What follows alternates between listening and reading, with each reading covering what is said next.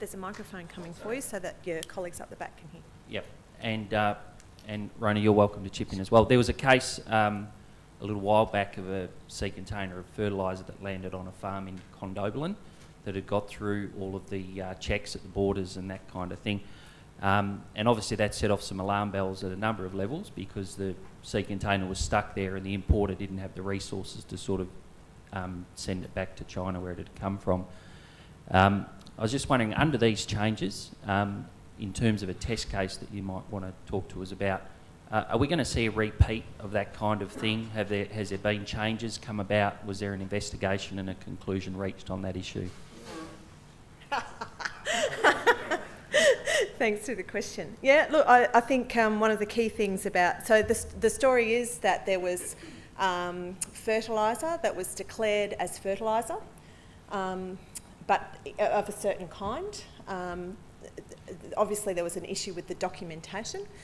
One container, there was actually many, many containers. Some of them got through and some of them didn't. Um, they came in different consignments. When the, the importer uh, opened them up, the importer actually bought this, and there's a lesson in here for everybody who wants to import something off a website that wasn't government approved in China, so buyer beware, and managed it through the process with a broker and it was misdeclared. So, so to be frank, when we talk about regulation, we talk about regulating people who provide the information that we need to do our job. And that wasn't the case here. Um, that, uh, for those who don't know the, the end of the story, yes, it got through, and what it was was actually soil.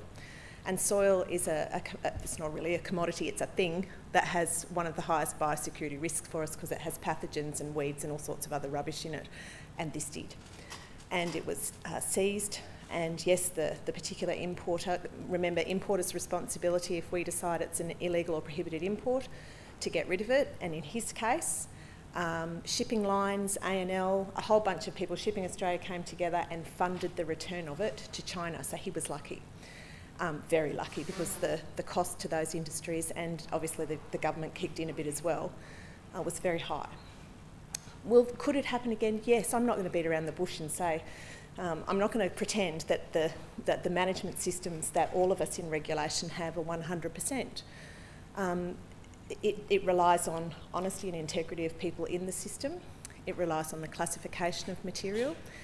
For us, it relies on the quality of data that we hold and how we mine that. And there's no, we've never been secret in the fact that our IT systems and the, and the sort of data that we can access and use in a savvy way is a little bit last century, and we're doing quite a bit to actually tidy that up. It relies on, uh, in, in, in, that sort of story, the customs brokers and freight forwarders uh, demonstrating goodwill as well. And then it relies on the border agencies in this case. It relies on uh, the, the competent authority overseas to certify the goods. Uh, there were issues overseas. There's no doubt that some of the press would have told you that there were issues with the exporter and with the Chinese government and their relationship. It was a horrible story. Could it happen again? Yes, because all of those things need to line up in a clean way. Our job, I guess, is to actually continue to assure that those things can line up. Um, have we worked with the Chinese government on that matter? Yes. Do we do that when we see other certification, not just with China, with anyone that's not quite up to par? Yes. Um, have we made a change in the system? Yes. We actually have a much higher focus. Two learnings for us in that was the way in ICON that the, the fertiliser was classified. Again, it's not unlike the plastic, uh, plastic bags for cocoa uh, imports. Um, the way that fertiliser comes through the system is a lot different to what it was. That fertiliser was in bags. Smaller bags had been seen as lower risk, they're not anymore. Um, I think the second thing is that this fellow, this particular farmer, was a new importer. And what we've learned from that is we need to give more time to new importers, more customer service, if you like, to manage them safely into the system. Is that good? Whoa!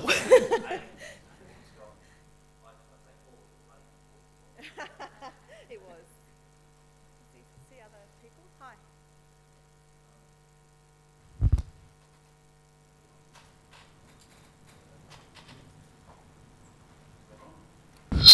Yep. Goodness, it is now. Uh, Gary Fitt from CSIRO uh, Biosecurity Flagship. And uh, a question or comment for Lisa. I guess I'd like the battleship analogy. I think we will fit into that very well. I share your concerns about the capability audit process that we've gone through. And one of the real concerns here is there's so much, as you said, there's so much change and churn and growing opportunity for different types of science to contribute here. And as part of the audit process, for example, in, in the One Health area, we're establishing a, a One Health theme. And one of our areas of focus will be in the sort of foresighting and predictive virology, you might call it. That's going to entail us redirecting a lot of other capability that at the moment we wouldn't say was biosecurity R&D capability, capability in modelling, in social science into the biosecurity spectrum. And I think in the auditing process we've gone through, we've really missed a lot of that potential for refocus. Uh, so that's just a comment as much as anything. Yeah, I, I totally agree. It's just we, what we need is a responsive innovation sector, and um, the amount of attention and resources that has gone into the audit in a way has distracted from the strategic uh, questions. And uh, so I think, so I sense that we kind of have been lagging for a couple of years, and so it's a different process. Um, I'm not saying I'm against audits, but I think we need to think about our capability in a more strategic way and where we want to be heading. And that involves a dialogue between government, industry, communities, and the, and the research, research providers. Thanks.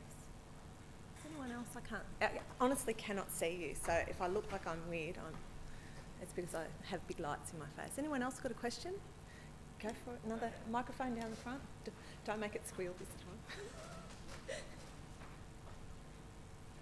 Uh, I, this might be a little bit too left of centre, a bit too radical, but we talked about social licence, and there is issues in terms of the way that some of these activists are going about their agendas in approaching agriculture. Has there been any serious thought given to the potential of some of these activists perhaps um, taking steps to breach biosecurity in order to um, fulfil their agenda? Um, it's uh, an interesting, as you say, left field question.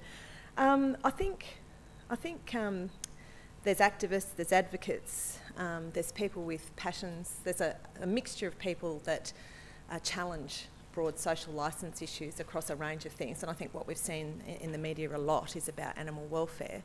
And it's not animal welfare just in live animal exports, it's in uh, production systems, in uh, poultry, in, in uh, piggeries in abattoirs. It's, it's, it's across the board and it's driven by, um, it's driven by different views. Um, it's fair to say that at the far end of the spectrum, you do, you do concern yourself as a leader in biosecurity, and I'm sure my colleagues in the States and elsewhere do, about whether or not there would be certain behaviours that, um, that went to, uh, to attacking Australia's productivity as well as its reputation. But I, I, don't believe it's up that point. It's something we do keep an eye on. Um, I don't believe it's up that point. We have seen um, people behaving in, in very activist ways at, at, protests and things like that, but nothing of the nature that, that you're, you're putting yeah, I mean, uh, Greenpeace attacked CSIRO, the GM wheat trials, yeah. and um, they wore hazmat suits, which was basically a theatrical stunt, yeah. also concealed their identity. But in talking about contamination on that issue, they also spread.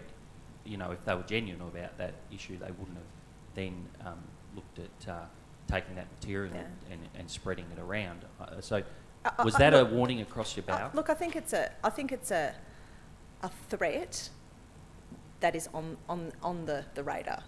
Um, is it is it? Do we actually think that it's going to happen in some percentage terms? No, we don't sit there and assess it that way. We certainly uh, we certainly are astute to the fact that there are activists at an extreme end um, in all sorts of things affecting government business um, that that could affect Australia's productivity and reputation, and uh, it, it's on the radar, um, but, but we haven't seen evidence to suggest that it's, it's happening. Uh, the other one is where at Fremantle Port, the yep. anti-live export activists get on the ships. Yep. They don't know what they're carrying. They don't understand when you talk about the broader biosecurity yep. and scientific issues that they could potentially be endangering the health of those animals. And their welfare. Yeah. You, have you looked at that? There has been. Uh, look, I, I, have to say, on the animal welfare side, um, and the government's invested a lot of energy and effort, not just into the regulatory systems, but to the relationships.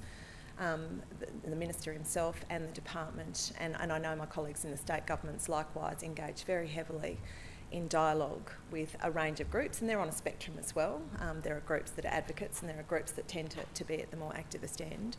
Um, and I'm confident that those groups also understand some of those risks.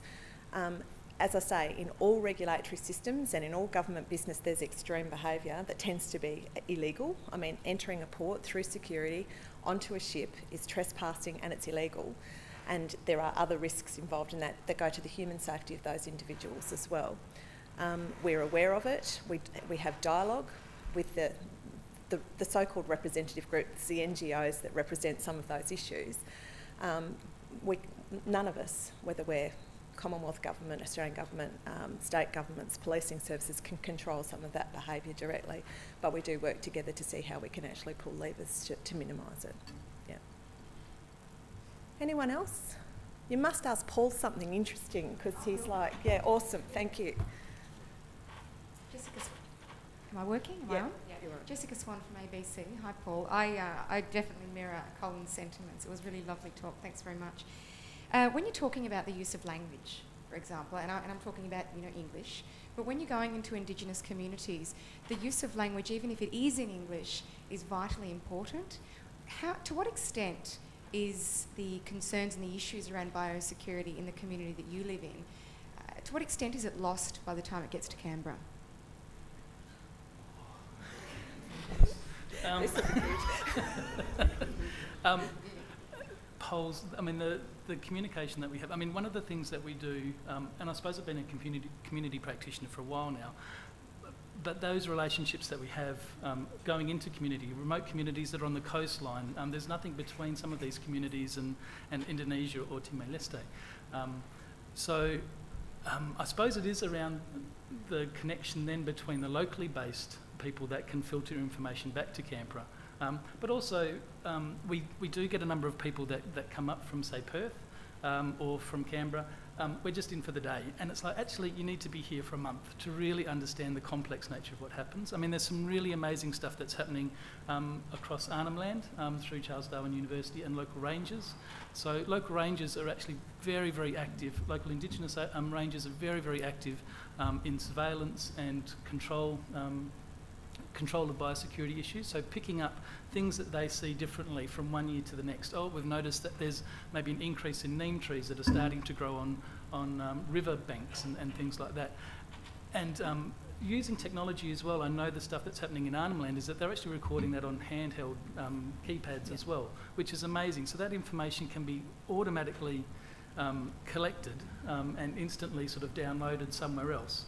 So even though there is a, a um, English might be a third language for some communities that we go into, um, but that language of technology um, exists um, still, yeah. and that, that's still relevant.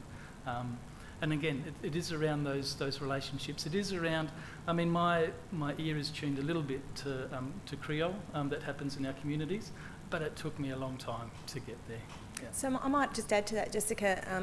we in in DAFF in the, the Australian Government agency, but in partnership with our colleagues in Queensland, the Northern Territory, and Western Australia, we share a brilliant relationship with about 32 community groups right across the top end. Uh, it's called the Northern Australian Quarantine Service. And what we actually do is contract into those community groups, and that they have the handheld devices and they collect survey information for us. They watch for weeds, they watch for insects. Um, they're very good at knowing their own land, obviously, they're very connected to their own land. They do work for Landcare as well, um, and for coastal ranges, they look for ghost nets that wash up on the beaches. For us, they're looking for uh, dumped fishing vessels that might have woodworms and all sorts of awful things in them. Um, they look at the waterways because migratory birds land there, and we're very concerned about migratory birds carrying things like avian influenza and, and creating pandemics of the, the kind Lisa referred to. Um, th- they are brilliant relationships. We have officers that are embedded in those communities as well, and they provide us with a really good defence mechanism of surveillance and monitoring for about 7,000 kilometres across the north end of Australia. And I echo Paul's uh, comment you actually need to embed in the community to get the leverage um, and the, the, experience. We're very blessed um, that those relationships have been in place for about 20 years. Um, and as I say, we have offices, uh, we don't call it biosecurity up there, we call it NAQS Top Watch. And the, the people really relate to that. It's a, a very long term. And I think my, my reflection on some of the comments that have been made uh, today is that um, there's a culture change that we need to have in biosecurity. Um, people are always um, uh, looking for how do things get in, how did this happen? How, they do. Uh, the reality is they do. A lot of a lot of what comes into Australia comes into Australia, uh, despite uh, everybody's best efforts. Uh, it blows in, it comes in on passengers. It, um, it, it, might be imported in here. There might be mistakes at the border. Um, I have to say on behalf of my agency, very few. Um, but the, the notion of engaging with the community, the notion of strategic thinking, um, these are these are things that take time. The community's demand from, from us is quite often the answer right now. Um, so the community through the government processes, the parliamentary processes, the, the media processes is right now count this. I can understand capability audits. Count this. Tell us how much of this. How many resources have you shifted from here to here today? Um, some of the things that we've talked about, NAQS has taken 20 years um, to, to, to, get up and running. I mean, it's been running effectively for, for that time, but it's matured into a very viable thing. Engagement, imagine, imagine us having a chat as opposed to doing a website. Wow. Um, it, it's very different, um, and I think some of some of what we have to do is take community with us to shift its thinking around the value of some of these things. Um, public service agencies and large industry groups are really good at counting stuff. Um, what does success look like when you're measuring engagement or when you're measuring strategic change? Um, will be very different. Might take, if there's one more question, you've been an enormously patient group, hearing a, a huge diversity um, of, of, views and, and, perspectives. Anyone have a burning desire? Yeah, go for it. Excellent, thank you. uh, I'll open this up to all four of you. Uh, just you're mentioning the top end, and it just got me thinking about uh, the issues to do with asylum seekers. And obviously, I don't want to go into all the obvious controversy around that. But to what, to, to, what extent is uh, quarantine and biosecurity involved in the discussions around managing this issue? Um, our, so I'm not, not going to go anywhere near immigration policy as a, as a very good biosecurity head. Um, our interest in, in the top end is, is really about we understand the high levels of risk um, by virtue of what faces us um, from the north arboviruses, great example, blue tongue, um, screwworm fly, all sorts of things that can just fly over. just, they're just to uh, land and appear. The wind carries seeds. Uh, yes, the boats carry risks as well. Um, think about uh, how we manage the relationships in the Torres Strait. There are islands in the Torres Strait where you can see Papua New Guinea.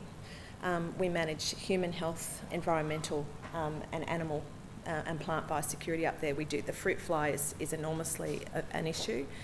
Um, we have very nice relationships with the traditional owners um, about what they can move uh, in protected state.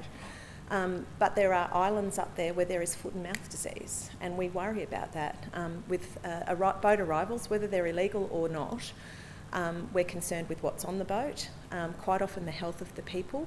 we're very concerned about the health of the people and how we manage them. Uh, the boat itself, some of the quality of the, the boats is a bit poor. Um, and our, our, colleagues in AFMA, uh, that's the Australian Fisheries Management Authority, work with us to actually manage uh, the, the boats once customs and others have dealt with them. We're part of a border management group, um, and our concern is to protect Australia from, from the risks uh, that come with no matter whether it's a illegal or not boat. Um, I don't know if anyone else wants that. The north, the north is, is one of our biggest. It's big, it's close. Um, you know, the, you're very right. The the closest places are not are not urban Australia. I don't know if others want to add. It's no doubt from an emerging infectious disease point of view, the region to the north of Australia is kind of seen as a corridor of threat really. Bat-borne viruses is another big, probably one of the biggest yeah. emerging infectious disease um, issues for Australia. Um, so we do need to have good systems in place at a regional level. So Australia's relationship with our near neighbours is very important and we've got a strong history of international cooperation, and we need to maintain that, continue great, great relationships between uh, technical people in Australia and offshore, and um, a lot of assistance in terms yep. of samples being sent down from PNG being looked at in our labs. Yep. There's good, good relationships there. Well, if um, if you're all done and dusted, can I say, first of all, thank you to three very, very diverse and interesting um, perspectives um, and views. A lot of food, food for thought for me, and I'm sure for, for many of you. And can I also thank you for choosing to come and share uh, this experience um, and join me warmly thanking um, the panel today.